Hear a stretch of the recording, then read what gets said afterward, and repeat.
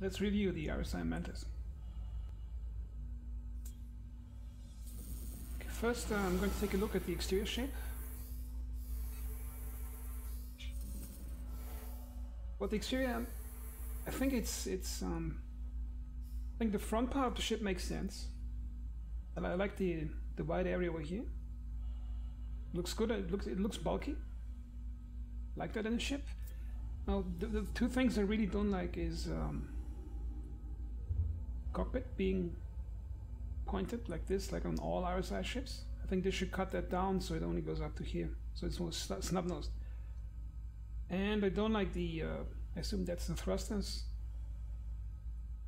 They have no reason to, to be attached like that. The only reason I think they are attached like that is to give it a more quote-unquote interesting silhouette. And I think the emphasis on cool silhouettes is a bad thing. Because it gets in the way of uh, making something look functional. For example, if there's something that looks really functional, and then an art director looks at it and says, oh, but what about the cool silhouette? And then they artificially boost the silhouette just to make it look cool from the silhouette. And I think that actually hurts the, the looks of the ship. Because I believe that functionality is the ultimate aesthetic in, in ship design. okay, let's get a bit closer.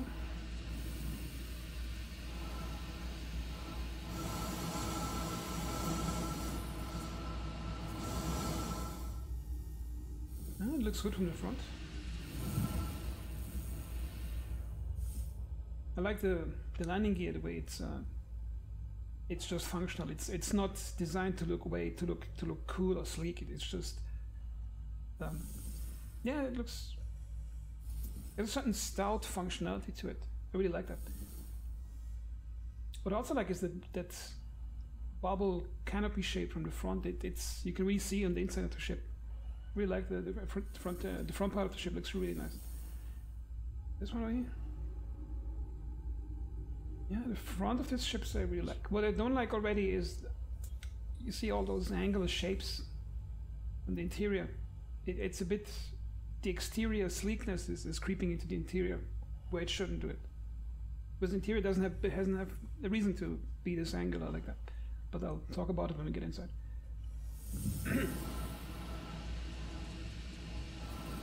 I thought it looks really nice. I really like the way the um, the initial launches uh, inside this, uh, this cavity in the ship. For the textures. I'm not liking that brushed aluminum blotchy stuff here, but I do like the um, there's a lot of good polygon detail on these um, on the screws. How who uses uh, slit screws like that? I'm not sure what the English word of that is. If you would use a screwdriver, you'd probably use one with the X shape because it's easier to turn. Or something like that, yeah. I think there's too much chrome polish over here. You see that? It looks too reflective. That part looks almost the same like this. Like as if they wanted to reuse the same the same texture on something that's close to it. I think that doesn't look good. It should be more matte and less less reflective over here. Get some air intake. I like the slightly crude, blocky look of it. I think it fits the ship well. Oh, like I'm liking this this cut, uh, cut over here. Look at this. Oh, it looks nice.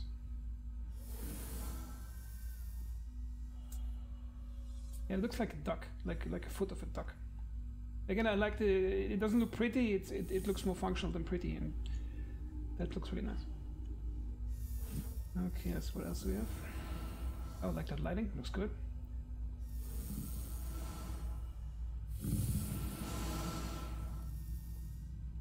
Mm, top area, I think it's yeah, it's good. It's not too ornamented like on like on the Prowler, where it basically looks like the spine of, of a bird or something. Oh, that red light looks nice. Yeah, I'm really liking the front part of the ship. Again, I just think that part should be cut off, so it's like really short, the stealth nose. It would look much better. Something like Reclaimer has, like this, um, the bubble canopy, with, with the um, was it octagonal um, shapes for the glass? okay, the engine not liking the way they are so flimsily attached to, to the fuselage. Look at this. That looks too flimsy for an engine mount. And I think they did it just to enhance the silhouette to make it look cool. I think that's always a mistake. It would look much better if that would be firmly installed into the ship shape and it would make the ship also narrow. Because it looks a bit too much like an origami paper plane, the rear part. They tried a bit too hard to make it look designed, I think. Oh, the exterior shape. I think it, um, yeah, I think I really like it. So in terms of function, hmm, what, what score should I give it? A piece of paper. I'm gonna call the exterior shape. Not sure, I'm kind of... It has some flaws, but I'll probably give it an 8 out of 10 for the exterior shape.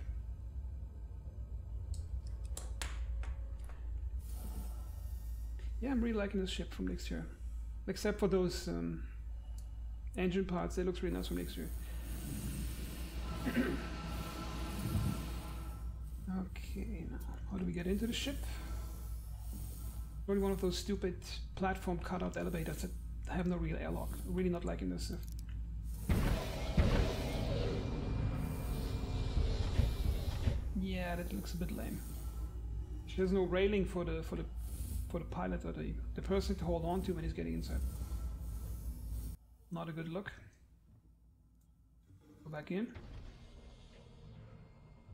Now the sound of the elevator is good. Oh my god, it's noisy as hell.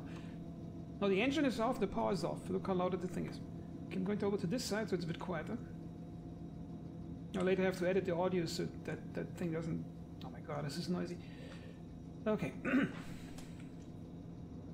Hope I can later edit, edit the volume of that thing in the video. Let's see how it goes. Okay, the first impression when getting inside, that's the lighting that you get when the ship is completely offline. Now, if it's offline, if you ask me, it should be pitch black, no lamp, nothing. However, it looks really nice. I'm surprised how good it looks for an RSI ship, because RSI ships, usually older ones, they have some serious flaws with that. Okay, I'm liking the contrast from this warm, is it brown, brownish, beige lighting to the to this um, dark blue. That looks, yeah, that's a really good lighting contrast over here. Okay, this is way too loud. Look at this. That's normal in-game volume. I have to actually talk really loud to hear myself talk. Okay, so let's do a quick examination of the interior.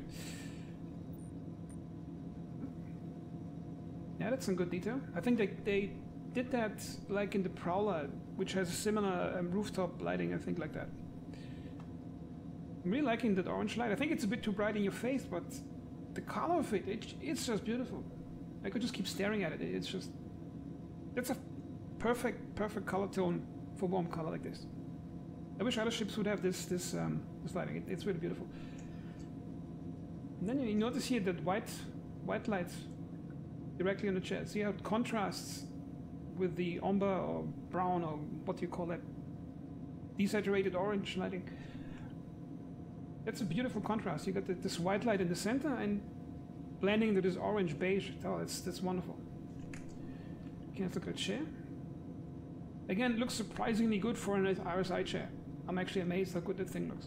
Like, what the hell? Okay, uh, the first thing I don't like is um, you got this flimsy little um, frame for the um, glass panel cockpit. That's a huge weak point on RSI ships. That really bad looking glass plane where you can see through. But other than that, oh, the console, oh my god, it looks nice. Yeah, could use a bit more polygons over here. I think it's too too metallic. You see, that thing is as metallic and polished as that over here, and I think that's material definition is really bad over here. Could also use more polygons on that. Okay, let's take a look. The font is readable. That's good. Look at this. A readable font. That's a nice thing. Uh, too much aluminum brushing. I hate that aluminum brushing on chips. I hate it. it it's terrible. Excuse me.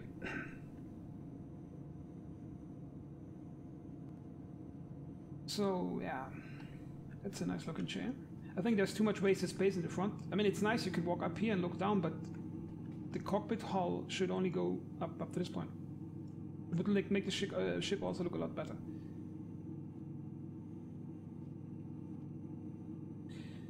Also not a fan of that ceiling mounted seating. It, it's just, it's kind of weird. Okay, let's look at the rear of the ship. Again, beautiful contrast. You got a dark blue lighting with the pink. Is it pink? Yeah, it looks pink to me. Um, looks really beautiful. Okay. Now I'm going to go into the cockpit and turn on the power so we see the, the way the ship looks with the lights on.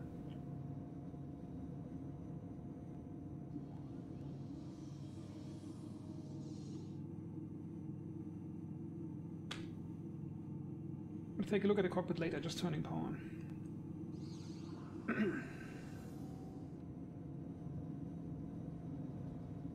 okay, let's take a look at... Okay, the front looks the same as, as if it's dark. It's exactly the same, I think. So I think they probably forgot turning it off. Maybe it's supposed to be dark when the power's off, but they forgot that light state. Okay, now look at this. Oh, this is beautiful. Hmm.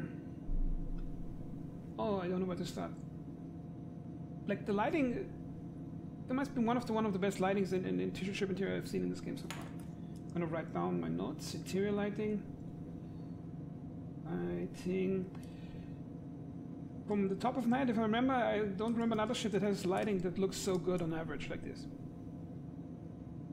So, interior lighting, I think I would give this one a 10 out of 10. Seriously, that's the best lighting I've seen in, uh, in the entire game so far, as far as ships go. Okay. Okay, let's take a look. Good detail on the ground. I think it's a bit too... Kind of looks like rubber. I like the rubberized matte rubber look, but it should be a bit better on material definition. I think there are those dirt patterns. They look a bit cheap in low res. See here, looks a bit too splotchy. And here again, brushed aluminum. I hate that. Really bad. With those inset lines. Not good. Okay. Now we got the component. Housing doesn't work yet. Got a nice bed over here. Yeah, there's nothing to complain about this bed. It's beautiful and functional. Nice gray muted colors. And you got this padding over here, looks really cool. Not sure what if that was going to be some shelf or something. Now what I really do like again is that yellow lighting. Like whoever is the lighting artist on that ship, he absolutely nailed the, the correct color tones. It's not too bright, it's not oversaturated, it, it's just perfect. And the roof lighting, I think it's a bit too bright. Like um, that line over here, it's too much in your face. However, that part is really nice. It looks like the like in the Prowler when you got the lighting coming from the top. It, it feels like like daylight coming from the top, and I think that's a really cool tip. They should do that in. I think they should really do that in a bit more ships. Yeah, the lighting is so beautiful in the ship. That's a bit too. The headspace is a bit too low. I mean, playing a female character. Look at this. If you play male character, you're probably half a head higher. So they should really add some headspace to the ship.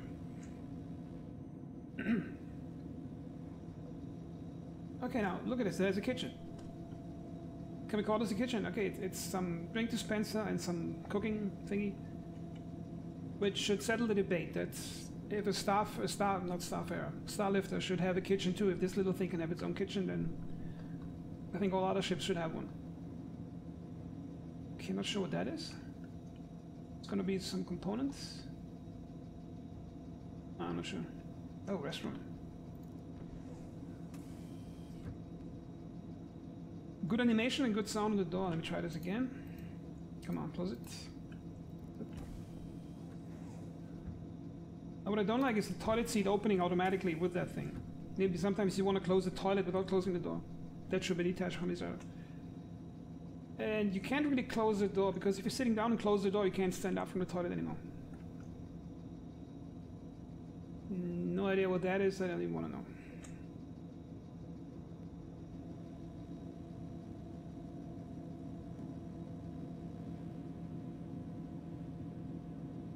So interior. I call it the interior geometry rating. Okay, we got so far the exterior geometry rating, 8 out of 10. We got um, interior lighting, 10 out of 10. Interior, I just split it in, in two sections, in, into functionality and into how nice it looks. In terms of asset quality, I think I'll go for 7 out of 10. There's some flaws with it, but um, yeah, let's go 7 out of 10. 7 out of 10. Area. Interior looks. And interior functionality. I mean, you got a, you got a kitchen, you got a toilet, you got a bed in the ship, you got component housings, you got a nice seat, you got some space to walk around into. However, it doesn't have a real airlock. That's disappointing. In terms of functionality, uh, it almost has everything you need for a small ship like that. So I'm gonna it 9 out of 10.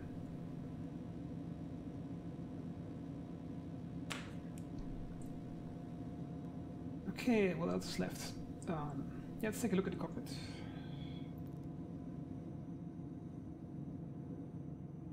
I'm going to review the audio of, of the way the ship flies, what sounds it makes. Okay, let's turn off the power.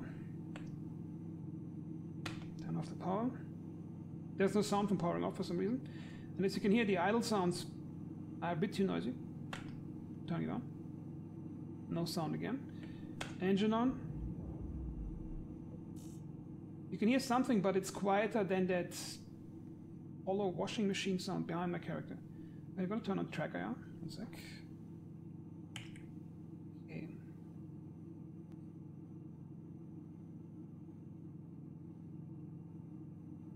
Yeah, I think it's it's way too loud on the idle noise on the ship. And the the glass panels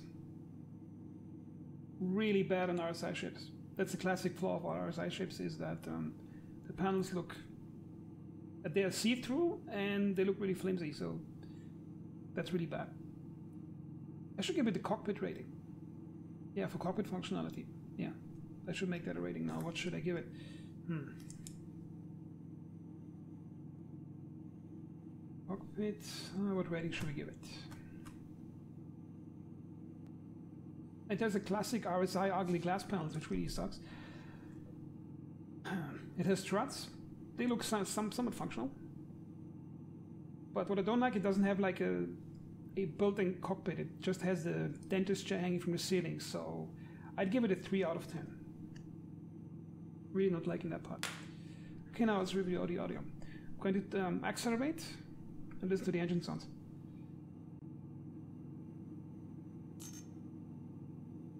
Can't hear anything.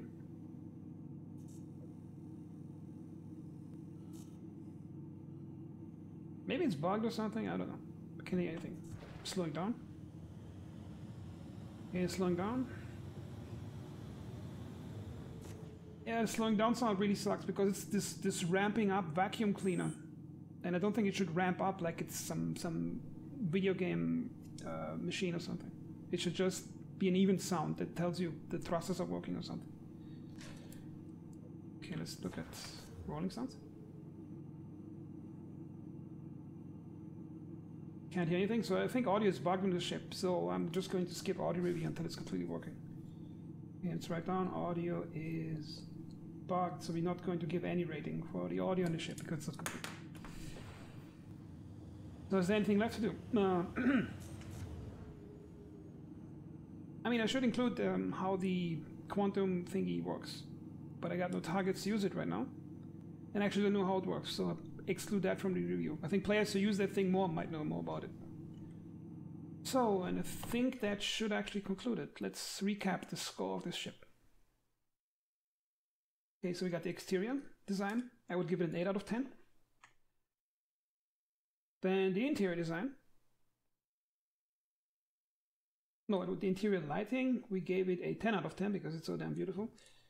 Else we have? The interior looks seven out of ten. It, it looks good. It's, it's good quality, but it has some material issues. Too much brushed metal, and the rubber doesn't look like rubber, and it's not the best, but it's, it's really good.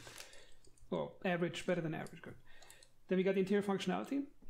It's actually quite luxurious for a small ship with only one purpose. You you get you get a bathroom. No, sorry, you get a toilet. You get a kitchen. You get a bed that looks nice. Then you got some tier space to put boxes down. So I give it a nine out of ten. The cockpit experience, it sucks.